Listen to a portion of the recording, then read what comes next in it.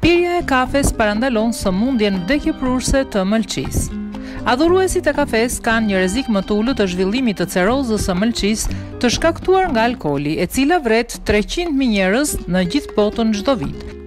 Një studim i kryer në Sidney zbuloi se pirja e kafesë ndihmon ata që janë mbi peshë dhe që pinë shumë alkool. Qëllimi i studimit ishte të identifikonte rreziqet që lidhen me cerozën dhe pirjen e alkoolit, për të ndihmuar në parandalimin ose zvogëlimin e kësaj sëmundjeje tek njerëzit. Doktor John Whitfield tha se studimi gjeti prova se një rrezik në rritje i zhvillimit të cerozës është shkaktuar nga alkooli, mund të trashëgohet veçanërisht nga baballarët.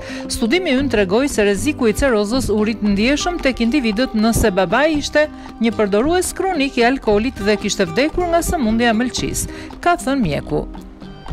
Ne gjithashtu zbuluam se konsumuesit e alkoolit me rrezikshmëri të lartë që konsumonin kafe kishin më pak të ngjarë të zhvillonin cirrozë. Ndërsa pirja e çajit ulte shumë pak rrezikun. Koha e mbijetesës për ata individë që kanë këtë sëmundje shkatërruese mund të jetë një ose dy vjet, ka thënë Devanshi Seth, kryetarja e programit të kërkimit të sëmundjeve të mëlçisë alkoolike në Institutin e Sidneit dhe një autore e vjetër e këtij studimi. Ajo gjithashtu ka theksuar se mënyra më e mirë për të zvogëluar dëmin nga alkooli ishte duke zvogëluar ose ndaluar përfundimisht alkoolin.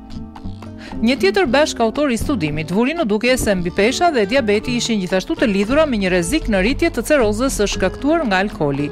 Përdoruesit e alkoolit që kanë diabet në moshën e mesme, kanë veçanërisht të ngjarë të përparojnë në cerozë. Masa të tilla si mbajtja e një peshe të shëndetshme trupore, trajtimi intensiv i diabetit ose gjendjeve paradiabetike dhe inkurajimi i konsumimit të kafesë mund të jenë të dobishme për të zvogëluar rrezikun e cerozës së shkaktuar nga alkooli për pirësit me rrezikshmëri të lartë, ka thënë ai.